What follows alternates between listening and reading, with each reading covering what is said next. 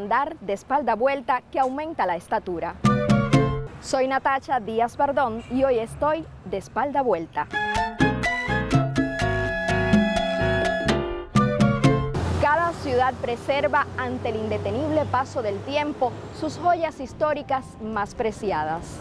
Este cañón Mambí, cual noble pertenencia de los tuneros, distingue al centro citadino. Sus huellas son poco conocidas.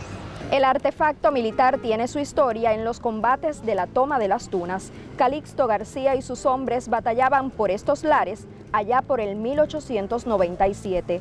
Cuatro artilleros, según trasciende, hicieron de este cañón una temible pieza en el enfrentamiento con la metrópoli española que ya ocupaba toda la plaza.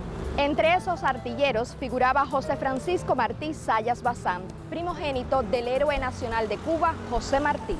Cuentan que tenía 18 años de edad, era soldado y ya manejaba muy bien el cañón Mambí.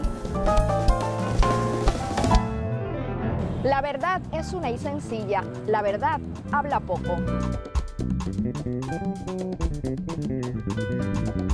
Solo habla para abrirse paso.